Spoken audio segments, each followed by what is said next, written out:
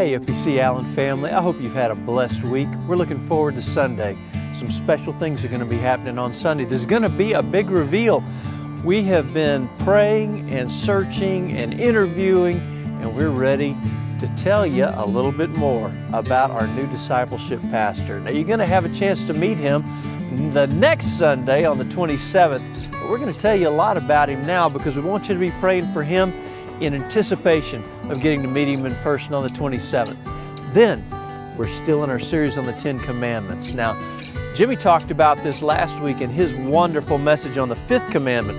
You know, the first four commandments are all about relationship between us and God, the vertical relationship. Starting with the fifth commandment, we're talking about family, and beyond that, it's all about how to love one another well, how to care for one another well in a God honoring kind of way.